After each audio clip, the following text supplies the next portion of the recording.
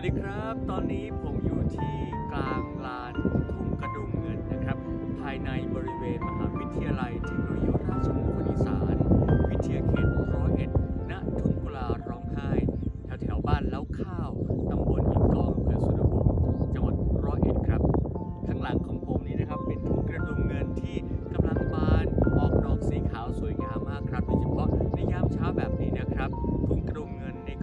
แสงอาทิตย์ในยามเช้าได้อย่างสวยงาม หาชมได้ยาก นี่แหละครับคือบรรยากาศของทุ่งกุลาร้องไห้ พืชพันธุ์ธัญญาหาร ความหลากหลายทางชีวภาพ ที่รอการค้นพบ และสร้างคุณค่าให้กับชุมชนอีสานให้เกิดการพัฒนา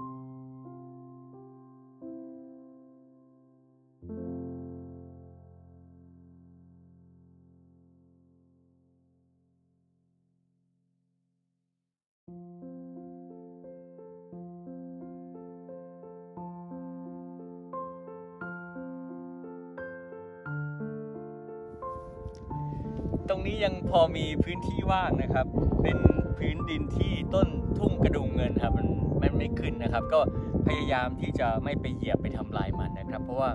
กระดุมเงินที่นี่สวยมากครับ เป็นทะเลกระดุมเงินที่พื้นที่ใหญ่ครับ หายากครับ เพราะว่าเป็นพื้นที่ที่ไม่ค่อยอุดมสมบูรณ์ แต่ว่ามีพืชหญ้าพืชคลุมดิน ที่สามารถเติบโตได้ในบรรยากาศของทุ่งกุลาร้องไห้ ที่มหาวิทยาลัยเทคโนโลยีราชมงคลอีสาน วิทยาเขตร้อยเอ็ดณทุ่งกุลาร้องไห้แห่งนี้ครับ สวยมากครับ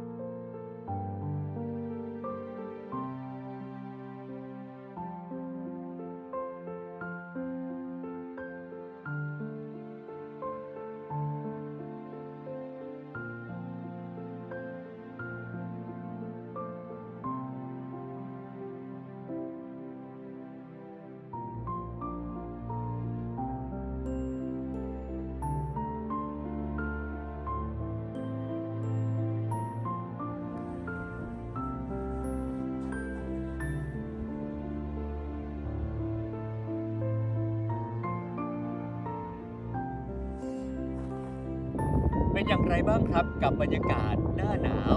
ลมแรงๆยามเช้าแบบนี้ครับ ด้านหลังของผมนะครับก็เป็นทุ่งกระดุมเงินที่สวยงามมากครับ นอกจากทุ่งกระดุมเงินแล้ว ก็ยังมี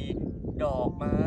หญ้าพืชคลุมดินที่เกิดขึ้นได้ดีในพื้นที่ทุ่งกุลาร้องไห้พื้นที่ที่หลายคนบอกว่าเป็นพื้นที่ที่ขาดความอุดมสมบูรณ์ เป็นดินปนทราย มีแต่เกลือดินมีความเค็ม ตอนนี้หลายคนคงตระหนักดีแล้วนะครับว่า ถึงแม้จะขาดความอุดมสมบูรณ์ดินแห้งแล้ง